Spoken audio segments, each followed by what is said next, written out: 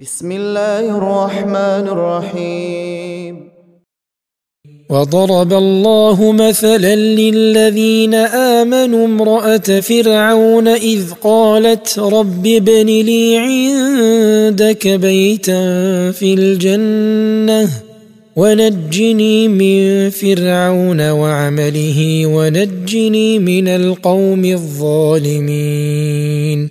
ومريم ابنة عمران التي أحصنت فرجها فنفخنا فيه من روحنا فنفخنا فيه من روحنا وصدقت بكلمات ربها وكتبه وكانت من القانتين.